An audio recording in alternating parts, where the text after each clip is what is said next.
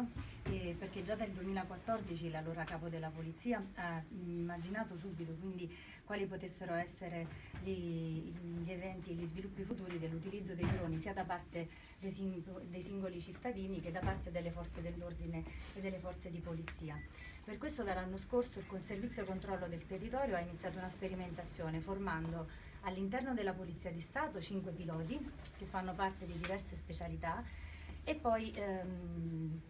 come funzionario ha formato me in modo tale che eh, ci potesse essere un coordinamento tra il servizio di controllo del territorio a livello centrale e eh, la sperimentazione che viene effettuata appunto nelle varie questure. Quindi noi siamo contenti perché questa è la prima volta che ci date questa possibilità di eh, sperimentare questo tipo di, di drone che è un esacottero come potete vedere e ehm, che è stato realizzato interamente da ingegneri italiani ed è stato costruito in Italia eh, in una situazione eh, diversa rispetto a quelle che abbiamo già eh, sperimentato in, in, questo, in, questo, anno. E per quanto riguarda l'esacottero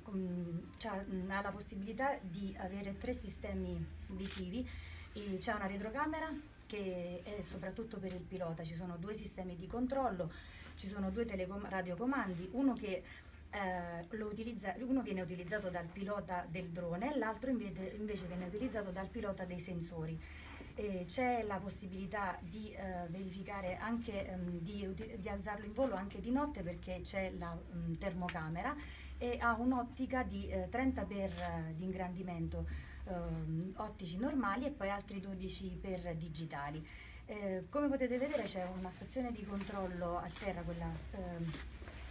quella valigetta che ci consente sia di programmare il volo, quindi in, um,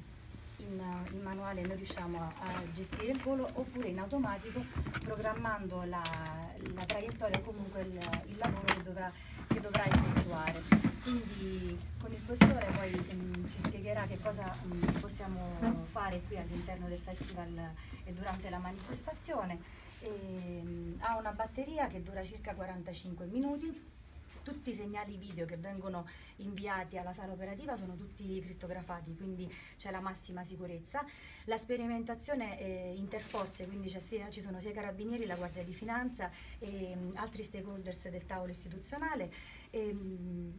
siamo, mm, abbiamo, stiamo avendo dei risultati positivi da questo tipo di sperimentazione perché come diceva il signor Questore prima tante attività che eh, prima venivano fatte solamente con, con l'ausilio degli elicotteri adesso riusciamo a farle anche con, con il drone senza dimenticare che però l'ausilio e l'importanza del, del fattore umano è fondamentale sia per l'utilizzo dei droni che per quanto riguarda altre attività. Eh, poi non so se avete qualche altra domanda nello specifico per il drone, possiamo rispondere oppure comunque in serata ci saranno le prime...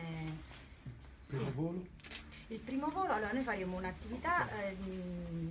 giornata per verificare un attimo anche quali sono le condizioni eh, delle antenne, di come possano eventualmente avere qualche interferenza con il sistema, però domani saremo operativi.